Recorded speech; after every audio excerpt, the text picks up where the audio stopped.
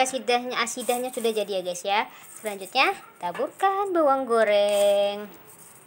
Ini gak jadi guys uh, enaknya tuh bawang gorengnya banyak pas lagi kita makan ya guys ya.